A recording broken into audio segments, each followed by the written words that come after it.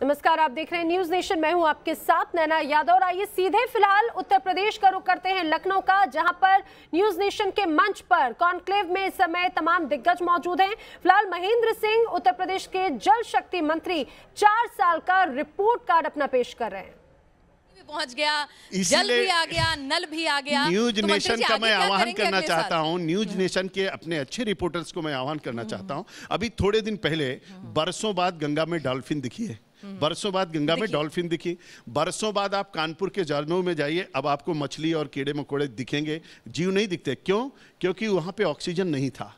आज डीओ पूरी तरीके से हम मेंटेन कर रहे हैं। डिजॉल्व ऑक्सीजन फिट है। बीडीओ हमारा ठीक है। कोलीफॉर्म हमारा कम हो रहा है। तो गंगा को आप बिजनौर से लेकर के बलिया तक जरा आकलन करके देखिए।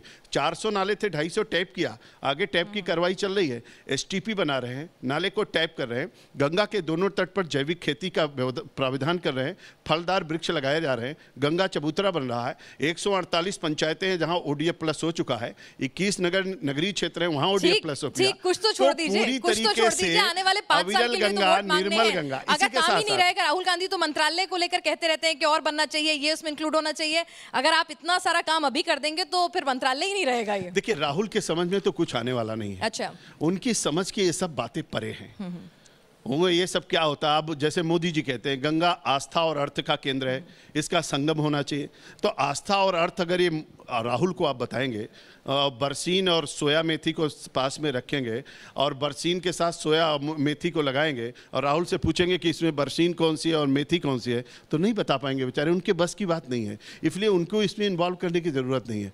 इसका समझने के लिए तो आदरणीय प्रधानमंत्री नरेंद्र भाई मोदी ही माँ गंगा को भी समझते हैं भारत माता को भी समझते हैं। इसीलिए जब प्रधानमंत्री ने राष्ट्रपति जी ने कहा कि शपथ लीजिए तो मोदी जी ने कहा पहले गंगा यात्री कर आरती करेंगे उसके बाद शपथ लेंगे। हाँ, तो ये माँ तो गंगा ने बुलाया था वो तो। से लेकिन 100% एक मिनट महेंद्र जी अब आपने अपना लेखा जोखा लंबा चौड़ा दे दिया कुछ सवाल मेरे भी देखिए अभी बाकी उसको अगली बार के लिए भी कुछ छोड़ दीजिए ना मैं कह रही हूँ। अब जरा मुझे थोड़ा मौका दीजिए कुछ सवाल मेरे भी बाकी हैं क्योंकि अगर ये फहरिस्त खत्म नहीं होगी तो मेरे सवालों की फहरिस्त जो है वो बची रह जाएगी। जरा ये बताइए मुझे कि आपने एक आदेश अपने अधिकारियों को दिया था जिसको लेकर आप सवालों के घेरे में भी आए थे कि बाढ़ रोकने के लिए नदियों की पूजा जो है वो नियमित पूजा की जाए।